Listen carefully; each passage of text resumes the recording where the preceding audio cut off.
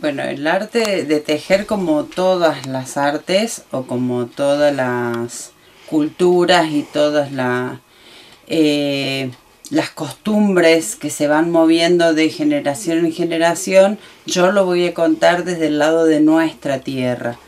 Eh, nuestros antepasados, antiguamente en las tribus, hacían que las mujeres tejieran porque la forma del tejido era lo que encontraban como una similitud con las raíces.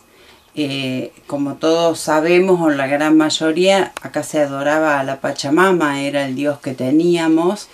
Eh, entonces era esto de imitar esa unión que se hacía a través de las raíces para que para afuera pudiera ir lo ya hecho, lo armado. Entonces las mujeres tejían para hacer tramas fuertes, por ejemplo, para poder sostener a un niño, para poder acunar, se hacían los primeros trenzados que se hacen, se hacen para hacer, em, ahora le dicen las fustas, ahora no se me viene el nombre de la mente, de lo que era para que salieran los primeros indígenas a la lucha, eh, con las bolainas, con todo eso, todo lo que era la parte de tramado y de tejido con tripas, que se hacía primeramente, o con plantas naturales, lo hacían las mujeres.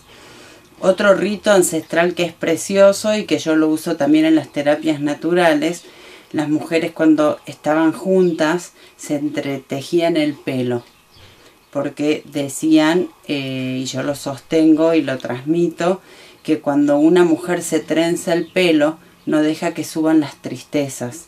Se van las tristezas viejas y se sostiene la mente de la mujer o la cabeza de la mujer en un lugar protegido. Entonces la mujer podía seguir pensando desde el corazón y no con la cabeza, que era lo que se necesitaba. Y bueno, y a partir de ahí el arte del tejido, del telar, el telar de cintura, el bordado, el uso de distintos materiales que ahora vuelve y se pone en auge con esto de la pandemia, pero bueno, de eso va a hablar Sofi. Eh, pero bueno, el tejido es un arte ancestral que viene desde el principio, porque si siempre voy hacia el mismo lugar, si vemos la pacha, eh, la pacha se, se, va entrelazando un árbol con otro para protegerse, ¿no? Y en el invierno es ese resguardo de eso que se entreteje para cuidar a los animales, eh, nosotros entretejemos para abrigar a los nuestros. Es todo un... Es toda una magia, yo digo, ¿no? Algo tan místico y tan precioso el tejer con cualquier técnica, telar, dos agujas, crochet, bordado, lo que sea, de la forma que sea, es puesto el instinto de la mujer y del varón, porque hay muchos varones que tejen también, y que también en un momento donde está en auge esto de que todos somos iguales, eh, hay varones que te dejan con la boca abierta de cómo tejen. Pero bueno, antiguamente ellos también lo hacían porque salían a cazar o salían a la guerra y cuando se les desarmaba algo, pues había que saber trenzar para poder rearmar un equipaje que iba arriba del caballo, por decirte, o para poder entretejer un techo para una choza y darle abrigo a mi familia. Hasta eso hablamos, ¿no? El tejido es hasta el techo de mi casa. Exacto, exacto. Pensaba, Sofía, en lo que decía Pau de los materiales que se utilizaron en ese momento, eh, extraídos de la naturaleza algunos, utilizando las lanas eh, de los animales también, pero hoy por hoy, en la actualidad, vemos una gama de posibilidades de materiales muy, amplio, ¿no? Muy amplia. ¿Sí? Muy amplia, sí. Eh, tenemos estamos trabajando desde lo más básico del cashmere común. Eh, tenemos todo lo que es fantasía. En este momento no tenemos stock, pero también lo que es el vellón de lana, que está muy en tendencia ya hace un tiempo, que con este frío se usa muchísimo, que es mantas, almohadones. El otro día también estamos investigando que hay muchísimas, hay, otras opciones para hacer con el vellón. Eh, todo lo que es pelito, eh, también totora, que nunca pasa de moda, sigue con los años.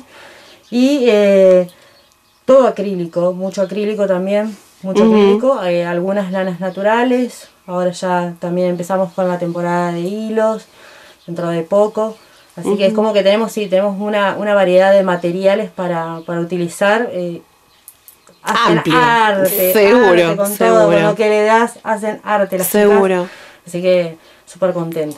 Y, y Sofi, ¿y vos que, eh, digamos, tenés un negocio de este rubro, eh, donde uno, bueno, puede buscar el material? ¿Qué pasó en esta pandemia? ¿Qué viste en esta pandemia? Bueno, por empezar, eh, eh, colapsó, colapsó, colapsó eh, todo. Creo que hasta la que no tenía interés en tejer este año se hizo al tiempo eh, por alguna amiga, alguna tía, lo vi en un tutorial, eh, alguna, alguna alumna de, de PAO le comentó y ya agarró también esa onda. Entonces, bueno, mucha gente empezó a tejer. Eh, obviamente que el tema del abastecimiento se nos complicaron las laneras, no solamente a mí, eh, seguramente a muchas de las laneras de acá, de la zona. Y, y bueno, fue complicado esa parte. Pero eh, las chicas trabajan con lo que llega, con lo que llega acá a la zona. Así que, pero sí, sí, sí, de- el hecho de tener un poco más de tiempo, de por ahí tener un ratito libre, hizo de que la gente le guste, le, la que no, no tejía, empiece a tejer. Y la que tejía, como que le ponga más horas todavía. Exacto. Sí. Nosotros la- nos imaginamos a nuestras abuelas, ¿no? Con las dos agujas, pero hoy por hoy cada vez se ve más gente joven, más chicas, chicos que están eh, aprendiendo a tejer. Sí, justamente hablábamos de eso con. Pau, de los, de los chicos, de, de cómo ella incluye en sus terapias, también ha incluido en sus terapias a chicos chiquitos y que vos decís, la terapia que ellos hacen, el hecho de poder eh, coordinar la, la concentración, fijar la atención, estar concentrados en algo. Lo- me pasa a mí con mi nena de 8 años que ella, desde que le agarró la mano, así se te agarra desde un bollito de lana, un totora, algo y empieza y lo saca y lo, lo vuelve a tejer, lo desteje, lo vuelve a tejer.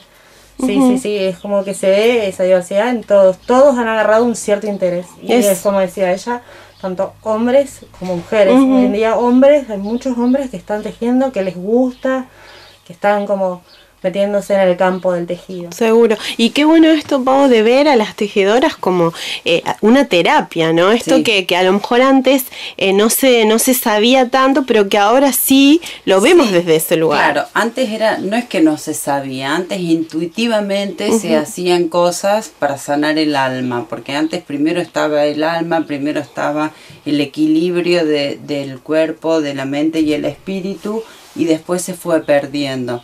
Pero a nosotras nos pasa cuando nos sentamos a tejer en grupo, que decís, no sé si avanzamos todo lo que queríamos, pero te vas relajado te vas tranquilo mientras estás tejiendo, como hablábamos hace un ratito, es la creatividad la que se pone ante todo, entonces ese instinto vuelve, esa calma vuelve, el niño, un niño hiperactivo, un niño con sus emociones desbordadas, lo sentás a tejer o lo sentás a bordar o a coser un botoncito y como tiene que su atención mental estar aplicándola al arte, a cualquier tipo de arte, nosotras porque nos gusta el tejido, pero a cualquier tipo de arte, eh, entonces es como que terapéuticamente son herramientas que se están usando cuando se hace la arte terapia, se usan siete artes distintos, siete métodos distintos donde eh, se usa los diferentes materiales, los colores,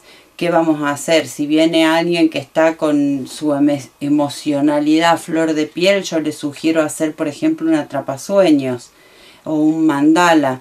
Entonces la explicación de la historia, por qué el mandala se puede tejer, se puede hacer con nudos. Un niño lo pones con un telar y entiende tan rápido esa técnica porque es lo que nos hace volver al principio. El varón, como decíamos anteriormente, entonces esto de la pandemia y lo que decía Sofi, de golpe explotó, colapsó y no le daba abasto la mercadería que tenía con lo que le pedían. Pero por una cuestión de que la gente necesita volver, bajar y bueno, y para mí una de las formas más preciosas de volver es tejiendo.